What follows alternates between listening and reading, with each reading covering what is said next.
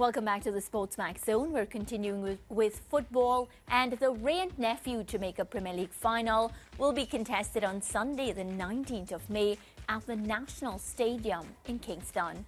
It will be a clash of familiar foes as defending champions Mount Pleasant face Cavalier in a repeat of the 2023 final. The championship match is set to begin at 6:30 p.m. Jamaica time, 7:30 ECT, but our coverage will start at 6 p.m. 7 ECT with a 30-minute build-up to kick off. We'll also have live coverage of the third place playoff between Arnett Gardens and Waterhouse beginning at 2:45 p.m. Jamaica time 3.45 ECT. All right, so as we prepare for the championship, you know, Ricardo, we're hoping to, of course, keep on talking to different um, guests and just create that sort of atmosphere and build up because what's for sure is the JPL season again has brought different storylines. It has brought a lot of players to the forefront, the leading goal scorers so far, um, you know, different players that have really stepped up throughout the season. We're down now to the business end, and I think that's where the excitement, um, you know, is at. Everybody wants to see if Mount Pleasant can, of course, retain that title, or of course, will Cavalier put up a challenge and defeat Mount Pleasant? And I think this weekend is going to be a hit. I attended one of the matches, um, not last Sunday, the Sunday before, and Ricardo massive turnout, a lot of vibes, you know, good energy. Mm-hmm. So I can only imagine what this Sunday will be like. Well, actually, the first thing I want to see is what the crowd support is going to be like massive. at the National Stadium. Of course, there is a change of venue. The other playoff matches have been contested at Sabina Park which in terms of capacity is a smaller venue to the national stadium. So if the Premier League um, if the PFJL can find a way to fill the national stadium, I think that would be monumental because now you're talking about, well, in truth and in fact, four teams because you'll have the third place Correct. playoff as well. But the truth is, the fans will be coming out for the final, for the championship match. And it would say a lot about how far the Jamaica Premier League has come in recent years um, if they are able to get a capacity crowd. Let's not forget that only recently there was a, a massive track and field event at the National Stadium. The entire bleachers was free and they still did not get to capacity. So if the JPL final can get there, that will be magnificent. No, I don't think they will, but I think you'll still get a terrific crowd on Sunday. And it's the National Stadium. It's the National Stadium. It's where you want to be playing all your big matches. It's like Wembley in England. That's where you want your big matches to be played. It is supposed to be the best football surface in the country. It is supposed to be the best venue for the fans as well. And I'm really looking forward to what I like to call the spectacle that will unfold on Super Sunday because the EPL will end on Sunday. The Jamaica Premier League will end on Sunday. Um, when will the TT Premier League end? Well, they, have their last match this well. weekend as well. This weekend. Yeah, I, I didn't call La Liga in that because because Real Madrid have already done what they need to. But still, we'll still have to talk about one more match. It, it's inconsequential whatever happens in La Liga on Sunday. You know what's consequential? What? We're continuing to prepare for the championship on Sunday. And we did say we want to speak with representatives. So we're going to be talking um, representatives from both finalists starting today. Paul Christie is the sporting director at Mount Pleasant Academy, and he joins us via Zoom. Paul, welcome to the Sportsmax Zone. Good evening. Thanks for having me. Yeah, so happy to be able to chat with you. Of course, Mount Pleasant again has made it so far in the JPL competition. How proud are you? Because I feel extremely happy, and it's it's not even my team. Yes, your countrymen on the team. So, yeah. Uh, well, uh, from July 1, 2023, would have planned and been prepared for this moment. So it's uh, it's not a surprise that we are here. We have put a lot of preparation and planning in place for this moment, and we have placed a different, uh, uh, many different scenarios, many different eventualities, many different outcomes. So we have been prepared for this moment, and uh, the, the final piece of the puzzle is to go and execute on Sunday. So we have been prepared for this moment, and we're ready. And uh, the fans will be in for a treat come Sunday, Super Sunday. Yes, Super Sunday, as Ricardo is describing it. You speak about preparation, and you know, many a times, Paul, people don't understand the work that goes into all this success. You are uh, talking about a team that, of course, had the title last season and is hoping to retain that title. So I want to know the secret to Mount Pleasant because even yesterday on the show, we had some youngsters that came on here and they sounded as if they rehearsed for the interview. And that's just to speak to the level of intellectual, um, you know, the, the, how smart they are. They're so intelligent. We were here um, sitting, listening to them. Talk to me about the Mount Pleasant setup and how these players are groomed for competition. And well, I have to say, these interviews. Well, at Mount Pleasant Football Academy, it's always work in, in progress. Uh, we are in a privileged position. We take nothing for granted. We prepare and prepare and prepare for all eventualities.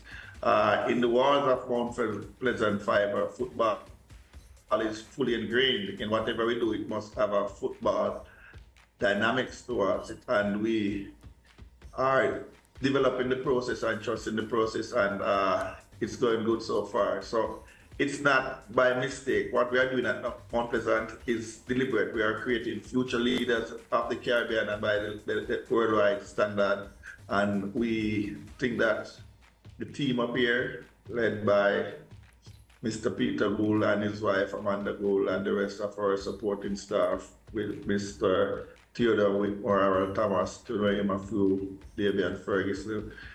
We have one dream, one aim, one objective, and uh, we are totally inclusive from both the academy as well as the first team.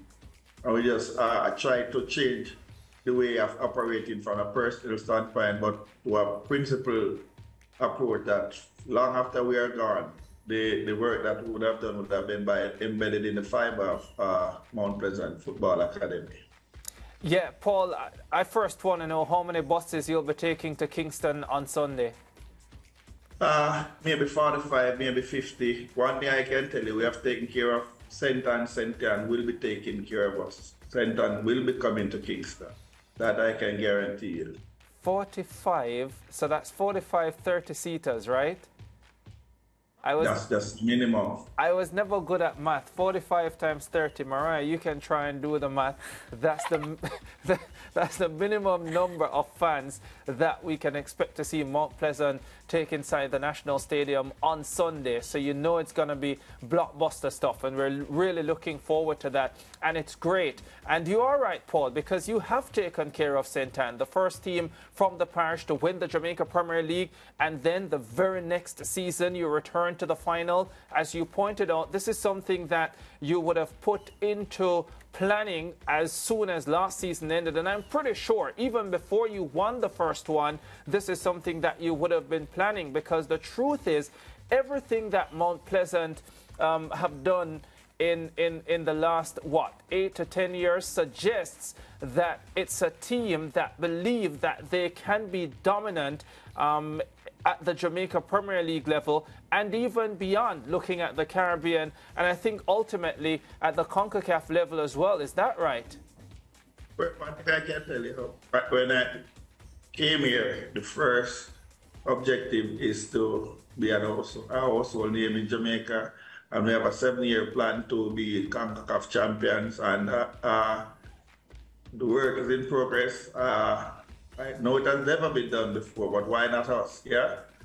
We believe, we believe we dare, and we believe we can always push the, the, the barriers, set new bar boundaries, set new horizons, and we have a fearless approach in the way we, we do things here, and uh, we don't just speak about it, we be about it. We why there's a famous line here while they work from 9 to 5 we sleep from 5 to 9 we're always up and available to improve learn and, and, and, and hope that what we are doing here at Mount Pleasant can impact the not just Jamaica but make Caribbean football better and, and, and show that we are as good as it anyone else to compete at a, a, CONCACAF level.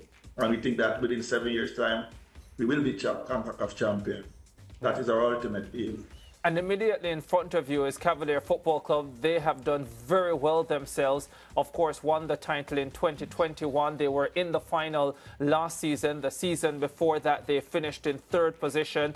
And I think everyone knows by now that their technical director, Rudolph Speed, knows what he's doing from a tactical standpoint. And so having seen the Mount Pleasant team all season, having um, the knowledge of what happened in last year's final, you have to expect that Cavalier will be coming um, a lot harder than they have ever come before, and things will be a lot tougher, don't you think?